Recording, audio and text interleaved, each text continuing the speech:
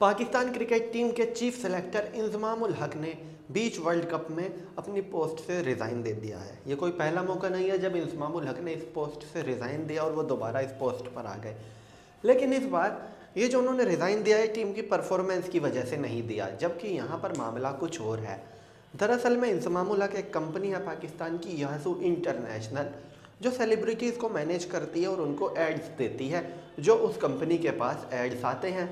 और उनकी मदद से ये कंपनी अच्छा खासा पैसा कमाती है। इसके शेयर होल्डर इंजमामुल हक भी हैं और ये कंपनी मैनेज करती है पाकिस्तान के तीन एक्टिव क्रिकेटर्स को, बाबर आज़म, मोहम्मद रिजवान और शाहीन आफरीद। और जब इन तीनों को ये कंपनी मैनेज करती है तो ज़रा सोचिए, ये कंपनी हमेशा चाहेगी कि ये तीनों पाकिस्तान की टीम में रहें। क्योंकि ये पाकिस्तान की टीम में रहेंगे तो ब्रांड इनको ज़्यादा एड्स देंगे।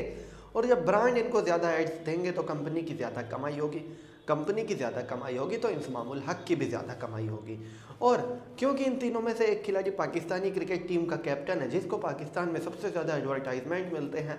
किसी भी एक्टर से ज़्यादा पाकिस्तान में, पाकिस्तानी क्रिकेट टीम के कैप्टन को एडवर्टाइजमेंट मिलते हैं। तो यहाँ पर कन्फ्लिक्ट ऑफ़ इंटरेस्ट हो गया इंजमामुल हक के लिए। और जिसके बाद उन्होंने अपनी पोस्ट से रिज़ाइन दे दिया है। और अब वो वापस लौटेंगे इस पोस्ट पर अगले पाँच सात साल तक। इसकी उम्मीद भी ना के बराबर है।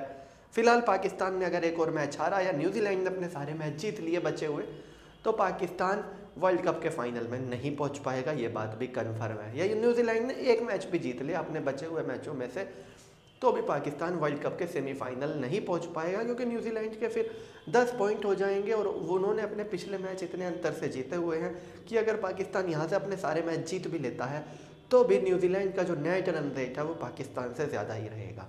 तो चलिए दोस्तों, मैं राहुल फ़िलहाल इस वीडियो के लिए इतना ही। आगे भी इसी तरह की वीडियोज़ के लिए बने रहिए मेरे साथ। धन्यवाद।